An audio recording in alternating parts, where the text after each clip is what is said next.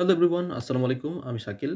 তো আজকের এই পার্টিকুলার ভিডিওতে আমি মূলত কথা বলব ফিচার ট্রান্সফরমেশন নিয়ে ওকে তো ফিচার ট্রান্সফরমেশন আসলে খুবই ইম্পর্টেন্ট একটা টপিক ফিচার ইঞ্জিনিয়ারিংয়ের মধ্যে পড়ে, তো feature transformation always related to features okay তো দেখেন, আমরা মূলত ডাটা প্রিপ্রসেসিং এই কাজ করার জন্য মূলত অনেক কাজ করে থাকি, ঠিক আছে? তো যেমন দেখেন এই লেফট সাইডে আমরা কি করছি এখানে? আমাদের ক্যাটাগরিক্যাল ডেটা ছিল গ্রিন রেড ব্লু এটাকে আমরা নিউমেরিক ফরম্যাটে কনভার্ট করছি। This is also feature transformation তারপর দেখেন, ধরেন আমাদের কাছে কিছু এজ ছিল। এজ তো আর কখনো point seven three zero zero one three এরকম হয় না, তাই না? তার মানে কি এজের একটা নির্দিষ্ট ভ্যালু ছিল। স্যালারিরও নির্দিষ্ট ভ্যালু ছিল। সেটাকে আমরা কি করছি? আমরা কনভার্ট করে এরকম করে নিয়ে আসছি। একটা নির্দিষ্ট রেঞ্জের মধ্যে নিয়ে আসছি। তো আমরা যখন ফিচারকে কনভার্ট করে নতুন কোনো ফিচারে রূপান্তরিত করি ডেটাগুলোকে ট্রান্সফর্ম করে ফেলি অন্য কোনো ডেটা দিয়ে, তখনই আমরা মূলত এটাকে বলতেছি কি? ফিচার ট্রান্সফরমেশন আমরা যেখানে কথা বলতেছি যেমন কালার এই কালারটা কিন্তু একটা ফিচার এই এজ এজ কিন্তু একটা ফিচার স্যালারি স্যালারি হচ্ছে একটা ফিচার ঠিক আছে? That means feature transformation is all about কি? Transforming the feature in a different way তো যা যা অ্যাপ্লাই করা যায় আর কি। তো কি, কীভাবে ফিচার ট্রান্সফরমেশন করা যায় বা এর বেনিফিটটা কী বা কেন করি, এটা বোঝাটা আসলে খুবই ইম্পর্ট্যান্ট ওকে তো ফিচার ট্রান্সফরমেশনের ভিতরে আসলে অনেক টাইপের ট্রান্সফরমেশন আছে। ডিফারেন্ট ডিফারেন্ট পারপাসে আমরা ডিফারেন্ট ডিফারেন্ট টাইপের ট্রান্সফরমেশন ইউজ করি ওকে যেমন হচ্ছে এনকোডিং এনকোডিং কি? এনকোডিং হইতেছে যেগুলো আসলে নন নিউমেরিক ক্যাটাগরি যেমনটা এর আগে দেখে আসলাম এইখানে কালার ছিল।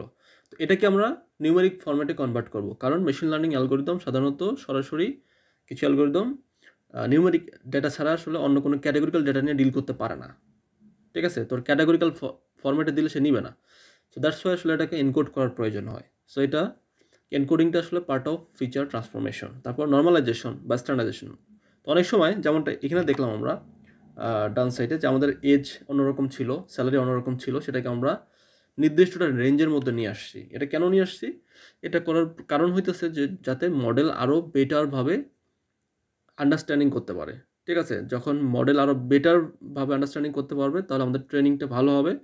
ট্রেনিং টাইম কম লাগবে প্লাস পারফরমেন্স আরও বেটার আসবে, ঠিক আছে? সো দ্যাটস ওয়াই আমাদের নর্মালাইজেশন এবং স্ট্যান্ডার্ডাইজেশন করার প্রয়োজন হয় এবং এটা it is also part of feature transformation তারপর হইতেছে ডিসক্রিটাইজেশন তো অনেক সময় দেখা যাচ্ছে যে এরকম আমাদের ডেটাকে এমনভাবে ডেটাকে ট্রান্সফর্ম করার প্রয়োজন হয়, যেখানে মূলত কন্টিনিউয়াস ডেটা থেকে আমরা মূলত একটা ডিসক্রিট বিন ক্রিয়েট করি। যেমন ধরেন আপনার এজ গ্রুপ আছে কিছু। সাপোজ দশ বছর থেকে একশো বছরের কিছু মানুষের ইনফরমেশন আছে। তো আপনি সাপোজ দশ থেকে বিশ বছর একটা বিন বিশ থেকে তিরিশ বছর একটা বিন সো এইভাবে আমরা চাইলে নির্দিষ্ট রেঞ্জের মধ্যে ডিফারেন্ট ডিফারেন্ট ক্যাটাগরিক্যাল বিন তৈরি করতে পারি। সো এটা হইতেছে কি data discretization it it's also part of feature transformation তারপর ডাইমেনশনালি রিডাকশন করতে পারি। তো সামটাইমস আমাদের, আমরা যখন লার্জার ফিচার নিয়ে কাজ করি, তখন আমরা অনেক সময় দেখা যাচ্ছে যে কী করি? ডাইমেনশনটাকে রিডিউস করে নিয়ে আসি। ফিচারটাকে কমায় নিয়ে আসি। যাতে মডেল আরও বেটার ভাবে লার্ন করতে পারে মডেল যেন ওভারফিট না হয় ওকে তো it's also part of feature transformation then আমরা মিসিং ভ্যালু হ্যান্ডেলিং করি,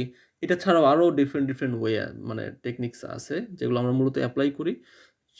সব কিছুই ফিচার রিলেটেড এগুলো হইতেছে কি? ফিচার ট্রান্সফরমেশনের পার্ট ওকে তো ফিচার ট্রান্সফরমেশন তাহলে কেন করা হয়? এর আসলে অনেক অ্যাডভান্টেজ আছে। সেই অ্যাডভান্টেজগুলো যদি একটু আমরা দেখি, যেমন হইতেছে মডেলের ইম অ্যাকুরেসি ইম্প্রুভ করার জন্য সাধারণত ইউজ করা হয়। কারণ যখন আপনি প্রপারলি একটা নির্দিষ্ট রেঞ্জের মধ্যে একটা স্কেলড ফরম্যাটে বা একটা নির্দিষ্ট ফরম্যাটের ডেটা আপনি পাবেন, এই ধরনের ডেটাগুলোকে ডেটা দিয়ে আসলে মেশিন লার্নিং মডেলকে ট্রেন করানো আসলে ইজিয়ার ঠিক আছে? তো কমপ্লেক্সিটি কম হয় বা ট্রেনিং আরও ফাস্টার হয় আরও বেটার ওয়েতে লার্ন করতে পারে। সো দ্যাটস ওয়াই এক্ষেত্রে যখন আপনি ফিচার ট্রান্সফর্ম করবেন ট্রান্সফর্ম করার পর ট্রান্সফর্ম ফিচার দিয়ে মডেলকে ট্রেন করবেন তখন আপনার মডেলের পারফরমেন্স বেড়ে যাবে।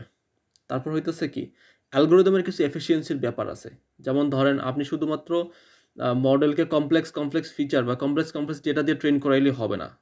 ও আসলে কত, কোন ধরনের ডেটা নিয়ে বা কোন ধরনের টাইপের ডেটা ডিস্ট্রিবিউশন নিয়ে সে আসলে ভালো কাজ করতে পারে, এর উপর বেস করতেছে সে আসলে কতটা এফিসিয়েন্ট ওকে কারণ সামটাইমস দেখা যাচ্ছে আপনার মডেল এরকম আছে যে, আপনি এত রান করছেন বারো ঘণ্টা তেরো ঘণ্টা সময় লাগতেছে একটা মডেল রান করতে machine লার্নিংয়ের model so it's depends on data তো যখন আপনি রিয়েল লাইফে কাজ করতে যাবেন হিউজ অ্যামাউন্টের ডেটা থাকবে কোড অনেক বেশি থাকবে, তখন এরকম সময় লাগবে, দেখবেন একদিন, দুই দিনও সময় লাগে। দেখা যাচ্ছে রাতের বেলা রান করে ঘুমাই গেছেন, সকাল উঠে out- আপনি আউটপুট দেখতেছেন।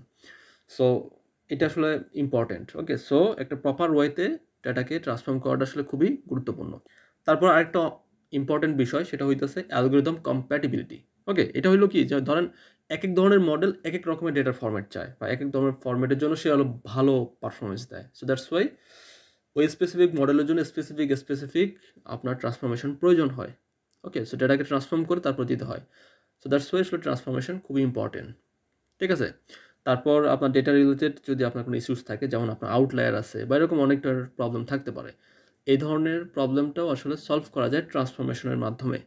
এক্ষেত্রে আপনার ডিফারেন্ট ডিফারেন্ট ট্রান্সফরমেশন টেকনিক আছে, যেগুলো অ্যাপ্লাই করলে আপনারা এটাকে স্কেলিং করতে পারবেন এবং স্কেলিং করে আপনারা একটা নির্দিষ্ট রেঞ্জের মধ্যে নিয়ে আসতে পারবেন। ঠিক আছে? তো অল আর দ্য বেনিফিট কেন আপনি ফিচার ট্রান্সফরমেশন ইউজ করবেন? তো ফিচার ট্রান্সফরমেশন রিলেটেড যে টপিকগুলো আছে, যেমন হইতেছে এনকোডিং তারপর এনকোডিং নিয়ে আপনি ডিটেলসে জানবেন আস্তে আস্তে। তারপর আমরা কথা বলব নর্মালাইজেশন নিয়ে নর্মালাইজেশন নিয়ে জানবেন। তারপর ডিসক্রিটাইজেশন তারপর ফিচার ক্রিয়েশন এভরিথিং সব কিছু আপনারা আস্তে আস্তে জানতে পারবেন। ঠিক আছে?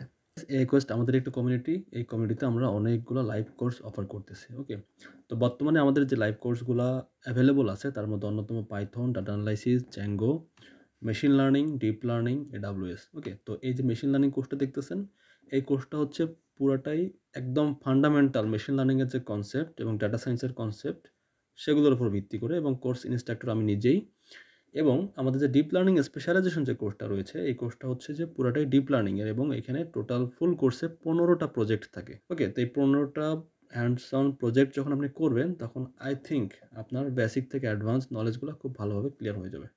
সো গাইজ যদি টাইম পান, তাহলে আমাদের মডিউলগুলো একটু ঘুরে দেখবেন। আই থিঙ্ক অনেক নতুন টপিক সম্পর্কে জানতে পারবেন। ধন্যবাদ।